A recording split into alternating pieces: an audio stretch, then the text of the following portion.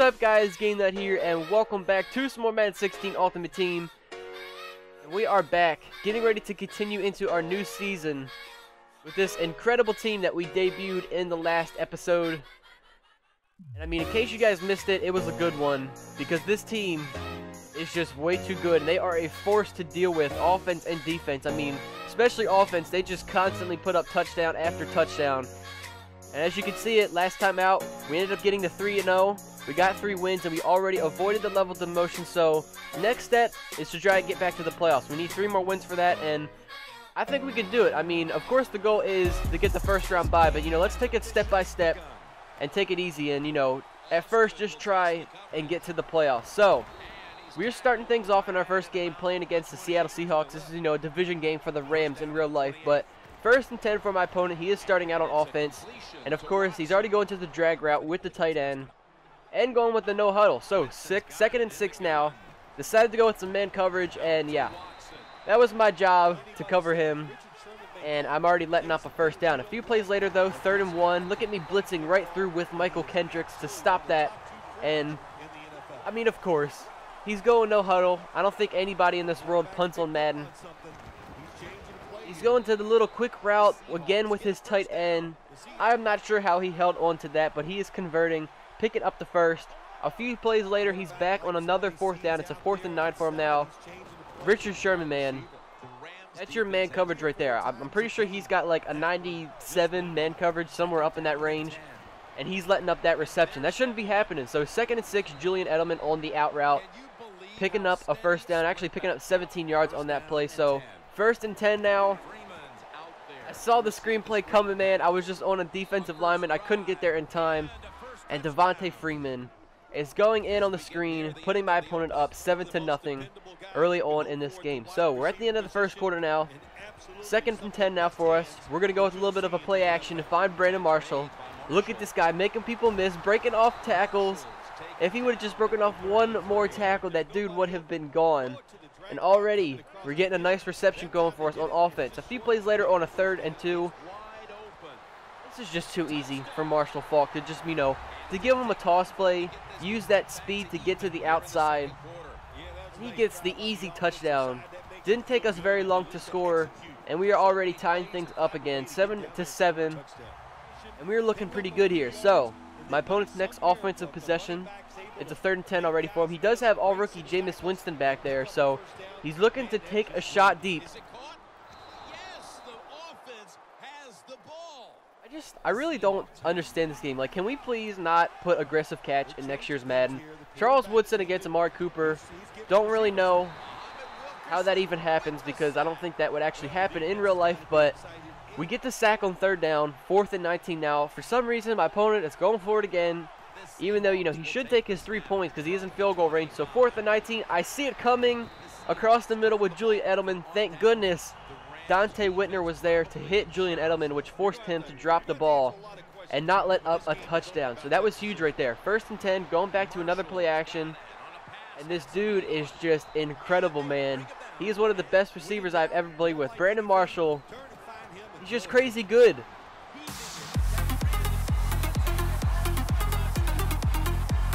I mean, like I said, this guy is just an absolute monster. He catches everything, and let me tell you, if you guys have enough coins, please go buy yourself a Team of the Year Brandon Marshall because the dude is an absolute freak of nature, and he catches everything that comes his way.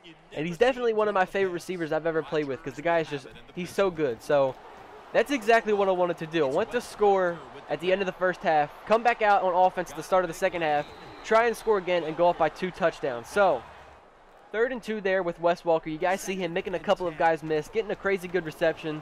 Second and 10 now. Look at Vernon Davis tippy-toeing his way down the sideline, able to stay in bounds and get ourselves that touchdown. Exactly what I said. And going up by two scores, making this a 21 to 7 game. And things are definitely looking pretty good for us now. So my opponent's next offensive possession. He's already with a second and 10. You guys see it. I'm there with DRC, but I just was too short, man, and watching this play back, it makes me angry because I should have had the user pick there. I'm just not that good with my user skills, man. I just need to get better with them. and learn to, you know, get to the play where it's developing a little bit earlier. Because I saw that play happening with Julian Edelman. I should have had the user pick. I just, you know, need to work on my user skills. But third and goal, even though I know it's going to be a quarterback sneak, that's just one of those things to Madden. You just can't stop it. So Jameis Winston dives forward for the touchdown. My opponent is right back in this. It is now a 21 to 14 game. But we've got the ball. We have a chance to go up another score and make it even harder for my opponent to come back. So on the screenplay with Marshall Faulk, look at that wide open hole my offensive lineman gave me to go through. So second and nine. Again, this play is just, it's money every time. It's going to work Vernon Davis on that sideline route. He's picking up another first down, and my opponent is completely against the clock now. A minute and a half left, third and one. He's looking to do all-out blitz. But again, one of those things that's so hard to defend. Fullback dive, Lorenzo Neal picks up the first down, and it looks like my opponent doesn't even want to call his timeouts. He's just going to take the L there. It looks like we are walking out of here in week four with another victory, 21 to 14 game.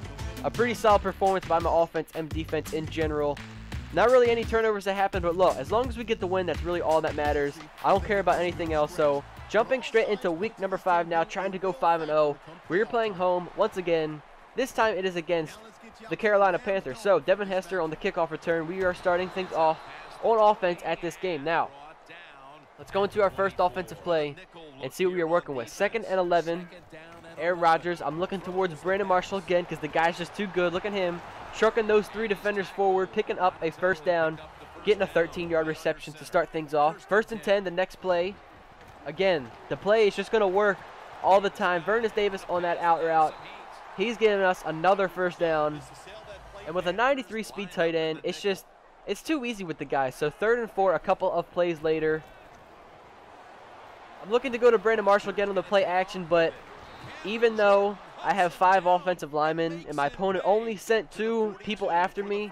Somehow with five O linemen and two defenders, I still end up getting sacked. So I was frustrated. Fourth and 12, I decided to go for it. My opponent, I can't lie, he played that beautifully. He put man coverage on the tight end. He knew exactly where I was looking to go, and he defended that at, at the best possible way that you could have. So turnover on downs, unfortunately. Look at this guy. Michael Floyd, I don't know who this guy thinks he is, First of all, he was completely wide open. I don't know who was supposed to be there to not let up that reception, let alone the guy broke like two or three tackles afterwards. So first and 10 now for my opponent. Taking a shot to the back of the end zone. DRC had some terrible, terrible coverage there, man. And I just don't know what is up with my secondary.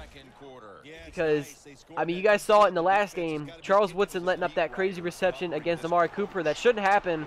It still does. So things just went downhill from here. My offensive line was just non-existent, and I don't know what was happening with these guys. I mean, back-to-back -back sacks. I just don't have any time to do anything. Plus, none of my receivers were open. I don't know what my defense or my opponent's defense was running, but nobody was getting open. My offensive line just decided, you know, take an easy day off.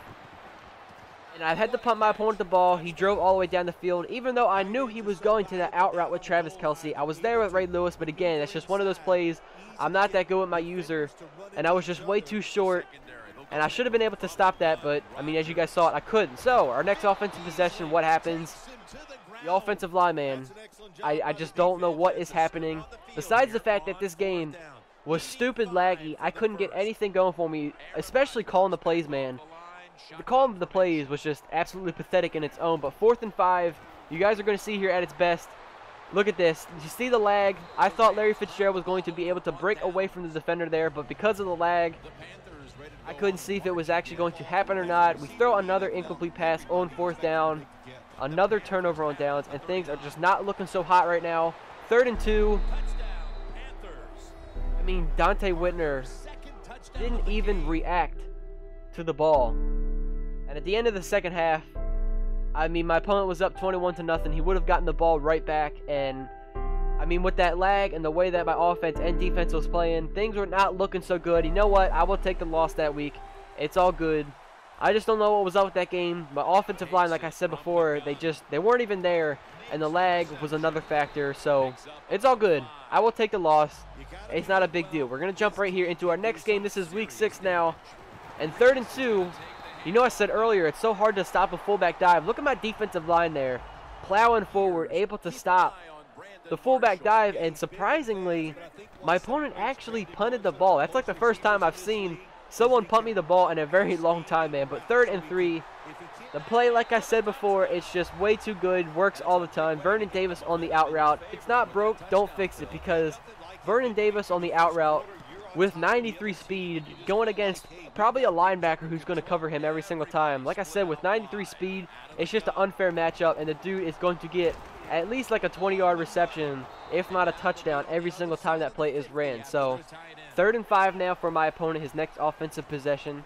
You saw that first down on the four vertical, so with the third and five, Donovan McNabb is able to scramble out of the pocket, get a 10-yard rush, keep things alive going for him, picking up the first. But a couple of plays later on the 10-yard line now, third and two for him. He's going with the drag route to the tight end, who is able to fall forward into the end zone.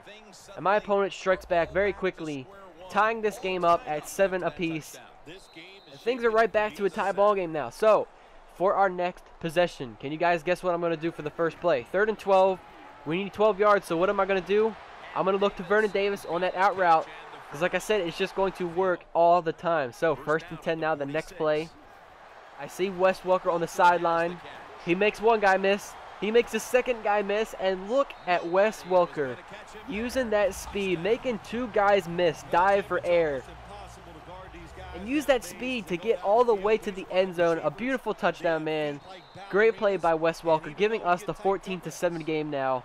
And we are right back on top by touchdown. So, for my opponent's next possession, second and 10 for him.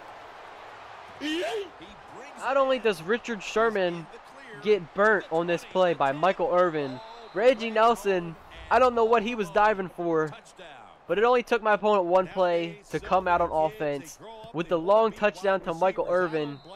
And he strikes back, and it is now a 14 to 14 game. I mean, defense, I don't know what they're doing, but it wasn't what I wanted them to do. So first and 10 now. Beautiful throw on the run by Aaron Rodgers to Larry Fitzgerald. Finally getting this guy going, getting some catches on our team. A few plays later now, we are on a third and four. We've got 50 seconds left in the second quarter, so I'm going to go with the screenplay. Thomas Rawls checks into the game. He's breaking to the outside, jukes to the inside. Are you kidding me? Look at that play by Thomas Rawls, the backup running back to come in put on a juke move, not only again make all of those guys miss, that was just an incredible play to come in as a backup, giving us the touchdown. And again, we're striking back very quickly again, up by touchdown. and It is now 21 to 14. Things are looking pretty good. Second and 18 for my opponent though. He's got a little bit of time left. Richard Sherman, you know, just decided to headbutt that ball. Don't ask me why he didn't even put his hands up because that would have been a pick six all the way. Fourth and 18, no time left on the clock. No catch was made, thankfully, on that Hail Mary. And I was going to say, we are going into the second half with not only the lead and we were going to get the ball back on offense, but my opponent quit right after that. And I mean, what an odd time to rage quit because I mean, he definitely was not out of that game. I don't know what that was about, but you know what? A win's a win. I will take it. We are now 5 and 1 on the season. I would have liked to have, you know, been 6 and 0, but that one game where the lag was just screwing me over completely, plus my O-line, don't know what they were doing that game, but it's all right. 5 and 1, we definitely can still make the playoffs and get a first round bye. But thank you guys so much for watching. If you guys did enjoy, please be sure to let me know by leaving a like, subscribe to the channel if you guys are new, and I will catch you all in the next one. Take it easy, guys. Peace.